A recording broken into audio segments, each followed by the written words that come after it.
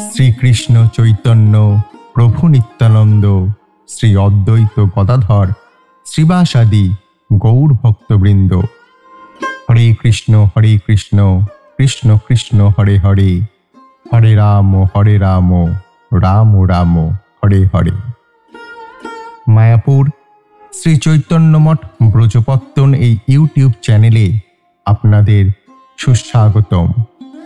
প্রথমেই সমস্ত আচার্যগণ, সমস্ত ভক্তবৃন্দ, সমস্ত মাতৃমণ্ডলী ও গুরুপাদ পদ্মে দণ্ডবত প্রণাম জানিয়ে আজ আমরা জানব রাখি বন্ধন উৎসব বা গৌরীয় আলোকে বা পুরাণ মতে রাখি বন্ধন উৎসবের মাহাত্ম।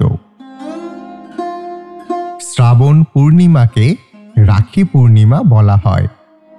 এই দিন রাখি বন্ধন করা হয়।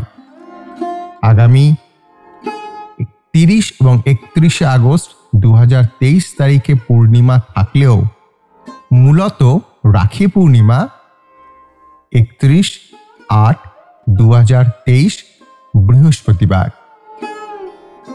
রাখি পূর্ণিমা দক্ষিণ এশিয়ার একটি উৎসব।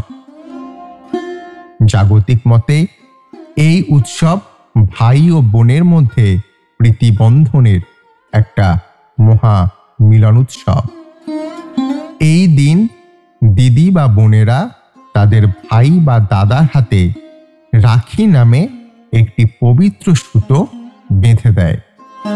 এই রাখিটি ভাই বা দাদার প্রতি বা দিদি বা বোনের ভালোবাসা ও ভাইয়ের মঙ্গল কামনা এবং দিদি বা বোনকে আজীবন রক্ষা করার জন্যেই ভাই বা দাদার শপথের প্রতীক।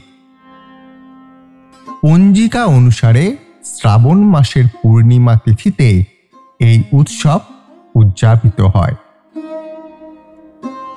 রাখি বন্ধনের পুরাণ মতে ইতিহাস কি? মহাভারতে বর্ণিত একটি যুদ্ধে শ্রীকৃষ্ণের কবজিতে আঘাত লেগে রক্তপাত শুরু হলে পাণ্ডবদের স্ত্রী দ্রৌপদী তার শাড়ির আঁচল খানিকটা ছিঁড়ে কৃষ্ণের হাতে বেঁধে দেন। এতে কৃষ্ণ অভিভূত হয়ে যান। দ্রৌপদী তার অনাত্মীয়া হলেও তিনি দ্রৌপদীকে নিচের বোন বলে ঘোষণা করেন এবং দ্রৌপদীকে এর প্রতিদান দেবেন বলে প্রতিশ্রুতি দেন।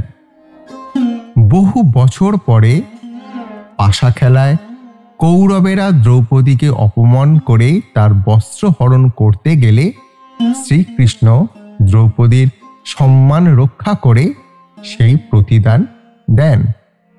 এইভাবেই কথিত আছে রাখি বন্ধনের প্রচলন হয়।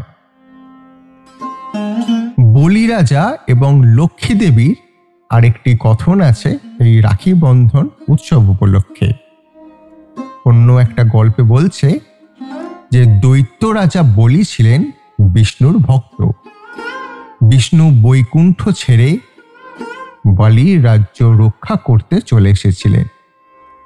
বিষ্ণু শ্রী লক্ষ্মী দেবী স্বামীকে ফিরে পাওয়ার জন্যে এক সাধারণ মেয়ের ছদ্মবেশে বলিরাজের কাছে আসেন। লক্ষ্মী মানে লক্ষ্মী দেবী বলিকে বলেন যে তার স্বামী নিরুদ্দেশ। যতদিন না স্বামী ফিরে আসেন, ততদিন যেন বলি তাকে আশ্রয় দেয়। বলি রাজা ছদ্মবেশী লক্ষ্মীকে আশ্রয় দিতে রাজি হন। শ্রাবণ পূর্ণিমা উৎসবে লক্ষ্মী বলি রাজার হাতে একটি রাখি বেঁধে দেন।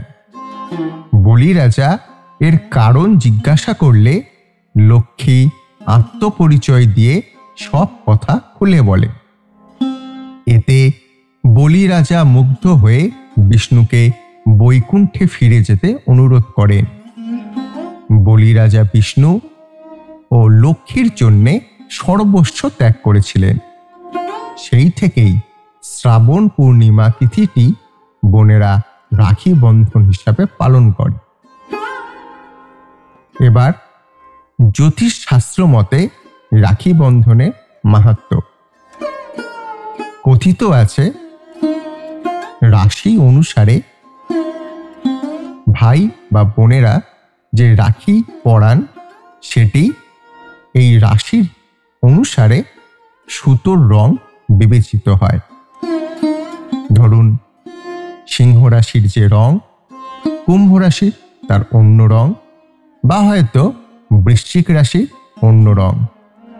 তাই সবার এক সুতোতে পড়া জ্যোতিষশাস্ত্র মতে বিধিসম্মত নয়।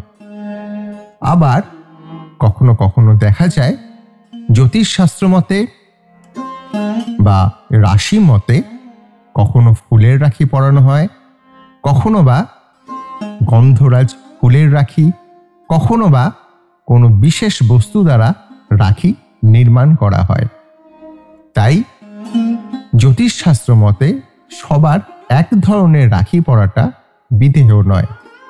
তাই রং, বস্তু এবং সময় অনুসারে রাখি বন্ধন একান্ত শ্রেয়। সময় বলতে রাশি এবং তিথি অনুসারে এক নির্দিষ্ট সময় অনুসারে সেই রাখি বন্ধনটা বিশেষ ফলপ্রসূ হয়। ধরুন, এই পূর্ণিমা তিথি অনুসারেও কখনো সেটা এগারোটা হতে পারে, কখনো সেটা দশটা হতে পারে। তো এই ছিল আজ রাখি পূর্ণিমার কিছু মাহাত্ম কথা। ভিডিওটা কেমন লাগল অবশ্যই আমাদের কমেন্ট সেকশনে জানান। কথা দিচ্ছি, পরের দিন এই রকমই আর এক ভিডিও নিয়ে আমি শঙ্কর্ষণ আপনাদের সামনে আর একবার আমরা উপস্থিত হব। ততদিন সুস্থ থাকুন, ভালো থাকুন আর কৃপা করুন আমাদের সবার যেন হরিভক্তি হয় গুরুপাক পদ্মে আমাদের যেন মতি থাকে। জয় রাখি বন্ধন মহোৎসবের জয় জয় অনন্ত কোটি বৈষ্ণববৃন্দের জয় জয় আকর মঠরাজ মায়াপুর শ্রী চৈতন্য মঠের জয় এবং তৎ শাখাসমূহ সমস্ত গৌরীয় মঠের জয়।